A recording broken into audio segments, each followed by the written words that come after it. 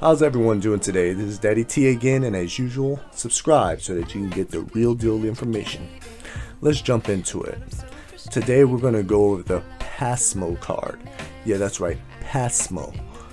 No Z in it. A lot of people like to call it Pasmo, and so it confuses some Japanese when said like that. So try to pronounce it Pasmo with a soft S when you can. That's lesson one. Okay, so a little background on this card real quick. Essentially, it's a prepaid transit card that you can use on just about any train line in Japan. However, you can only buy them at Keikyu Line stations. The Keikyu Line is actually one of my favorite train lines. Why? Well, firstly because it starts all the way down here at the tip of the Miura Peninsula in Yokosuka. And then from there you can go all the way to Tokyo on it. Now I don't just mean Shinagawa, no, you can get off at Ginza or Higashi Ginza and Tokyo Skytree, Haneda Airport, and even Narita Airport without even getting off if timed right. Okay, so now that we got that out the way, how do you go about getting one? There are kiosks at every, and I mean every KQ station. Now this station that I'm at is Horinouchi Station. It's just one stop away from Yokosuka Chuo on the express train. Now when you approach the kiosk, it will initially be in Japanese. There's a language button at the top right of the screen that will convert the kiosk into English, Chinese, or Korean. Choose your appropriate language.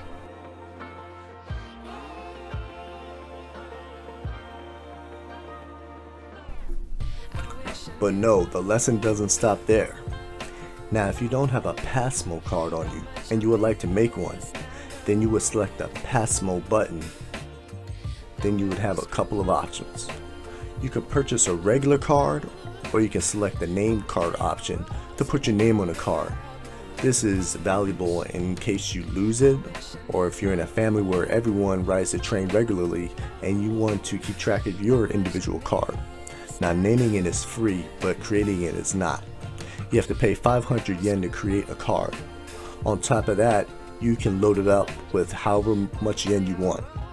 Will it be 10,000 yen, 20,000 yen, 30,000 yen? Whatever you do put on a card, remember, your balance will be minus 500 yen for creating a card.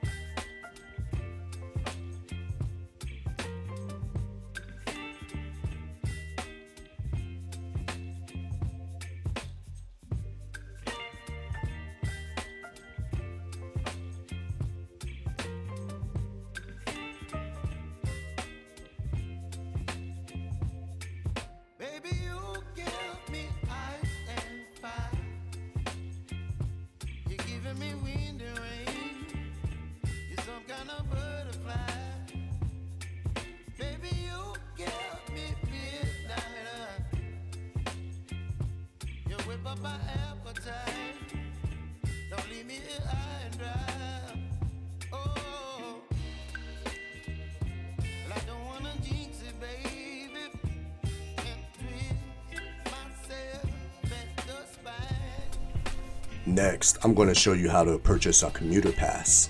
For this example, I'm at Yokosuka Chuo Station. I'm going to purchase a commuter pass from Yokosuka Chuo Station to Yokohama Keikyu Station with a start date of today.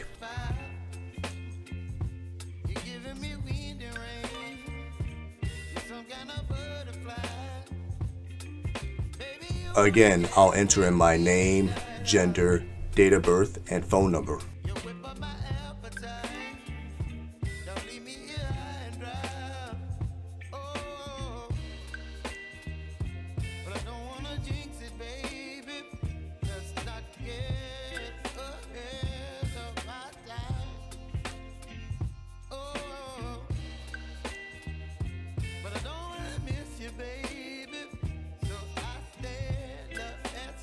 You don't have to put in your real phone number, but in the off chance that you do lose it, if someone turns it into the proper authorities, they can look it up and call you, contact you, and tell you where to pick up your card.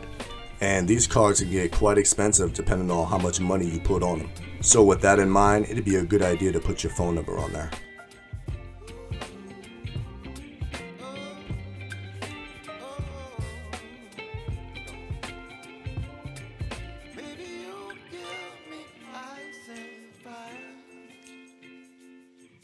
Next, notice that you can choose different lines at Yokohama to exit out of. Yokohama is a fairly large station with multiple lines in it, not just Keikyu line. So choose the appropriate line here and go out the transfer gate at that station. Also, I have a video about the underground shopping mall there, so check that out the link above. Then choose the validity period for that card. You can choose one month, three months, or six months. It really all depends on your situation. If this is just for casual leisure travel, then maybe one month is just okay. However, if you're depending on the train to get to work and make a living, then yeah, three or six months might be more appropriate for you. Again, it all depends on your situation. Remember, I said I was going to make it take effect today, so I'm going to select today's date.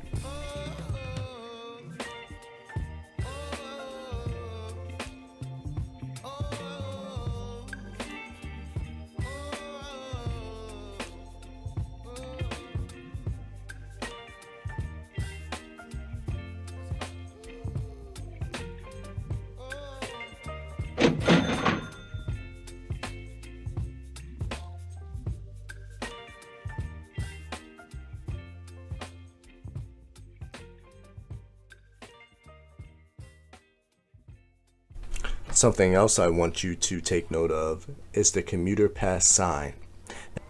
You can purchase a Pasmo at any kiosk, but you can only purchase a Pasmo commuter pass at compatible kiosks.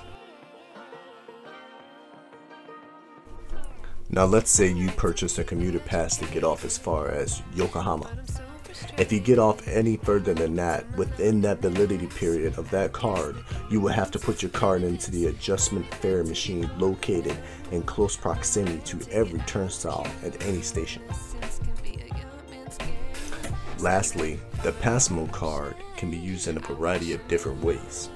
It can be used to get drinks out of the drink machine, or hanbaiki as it's called in Japanese, and it will deduct the cost of the drink from your balance.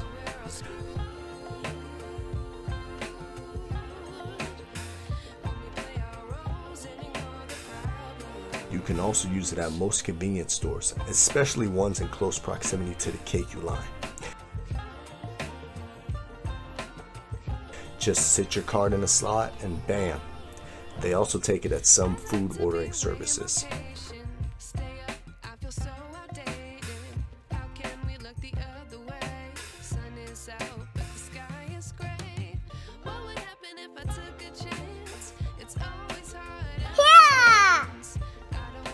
Shout out to my buddy Al Capone 99. Check out his channel for helping me make the vid.